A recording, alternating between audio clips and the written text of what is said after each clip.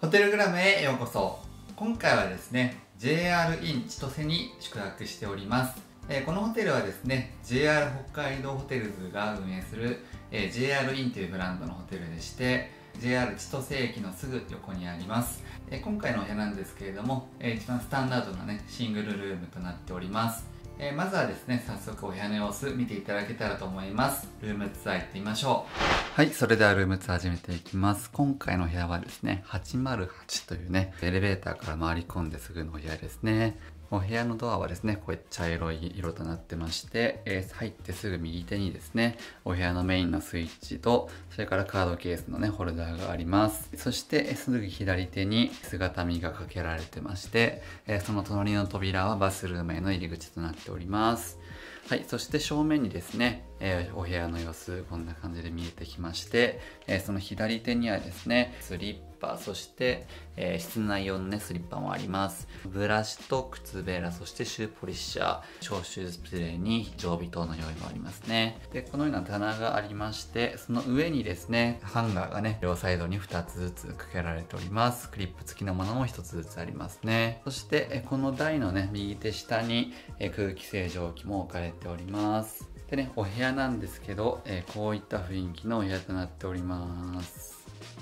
そんなに広さはないんですけどね、えー、廊下とかはしっかりゆとりがあって、えー、ベッドはシングルサイズとなります。ではですね、ベッドから見ていきたいんですけど、えー、このように窓際にですね、えー、ベッドが置かれてまして、えー、こちらがルームウェアとなってまして、大浴場なんかとね、行き来するときも、え使えます。で、枕はね、ちょっと隠れるような形ですけど、えこのようなね、まあ、ちょっと平べったい枕になります。で、ベッドの後ろにはですね、このように物を置けるスペースと、ライトがありまして、え目覚まし時計、そしてお部屋のライトのスイッチ類、そして右手にですね、え電源の用意もあります。ではですね、えー、デスク周り見ていきたいんですけど、こんな雰囲気となっておりまして、右手手前にゴミ箱と、デスクは結構広々したスペースになっております。で、上にはパナソニックのね、え、テレビが置かれてまして、左手にはこのようなね、おしゃれなライトもついております。机の奥なんですけど、えー、このように電源がね、えー、3つも用意されてまして、電話と、それからメモ帳にペン、で、えー、おホテルのインフォメーションですね。で、ティッシュもこちらに用意があります。椅子はですね、シンプルにこのようなブルーのクッションのついた椅子となっております。で、引き出しの中開けますと、えー、このようにケーブル類とか鏡ですね。それからホテルのね、案内も入っております。で、こちらがですね、ミニバーや冷蔵庫が収められてまして、まず右手がね、冷蔵庫ですね。中は空です。で、左手はですね、えー、上下に分かれてまして、上にこの土倉のね、緑茶のティーバッグ、それからマグカップにグラスもあります。で、下の段に電気ケトルですね。それではバスルーム見ていきたいと思います。こちらね、お風呂の入り口の横にエアコンのスイッチとお風呂の電気のスイッチがありまして、こちら扉を開けますと、えー、ユニットバスのタイプとなっております。えー、JR インはね、大浴場があるんで、結構シャワーブースであることが多いんですけど、こちらはね、しっかりね、えー、浴槽もついてますね。で、トイレはですね、リクシル製となっております。左手にですね、このようにウォシュレットのスイッチがありまして、トイレットペーパーもね、2段用意があります。で、シンクが丸いタイプで、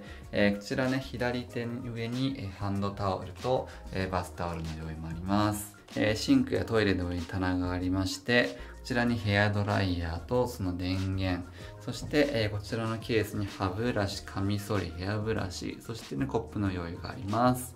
で、右手にですね、えー、こちらハンドソープがね、置かれてまして、シンクのね上に鏡と電気ですね。で、浴槽なんですけど、えー、このようにですね、結構しっかりした大きさがありまして、で、前に JR インのロゴ入りのバスマットも置かれております。で、シャワーはですね、こういった白いホースになってまして、ちょっと小さめですけど、ヘッドはあい感じです。えー、アメニティはですね、このようにボトルでね、えー、コンディショナーとシャンプー、そして下にボディーソープの用意もあります。はい、いかがでしたでしょうか？まあ、しっかりね、え JR インらしく、コンパクトながらね、えモダンで、え綺麗なテイストだったかなと思います。え今いるね、こうデスクのエリアなんかも結構広々してましたし、えベッドはね、まあ、シンプルですけど、まあ、一人で泊まる分にはね、え十分かなと思います。風呂もね、え、大浴場があるんですけれども、え、それにもかかわらずしっかりねバスタブ付きのね、え、バスルームが用意されていたんで、え、お部屋でお風呂サクッと済ますたい方にとってもね、えー、嬉しい構造となっております、えー、立地もね、えー、駅近ということで、え、とても便利ですし、まあ、千歳という立地なのでね、まあ、新千歳空港から、まあ、2駅ほどの距離なので飛行機がね朝早い時とか夜遅くて札幌まで行くのもね大変という時にはとてもね重宝するホテルかなと思いました。ホテルグラムではですね、えこのようにいろんなホテルのお部屋を、えルームツアーという形でたくさん紹介していきます。えー、ぜひチャンネル登録、コメント、グッドボタンたくさんいただけますと嬉しいです。それではまた次のお部屋でお会いしましょう。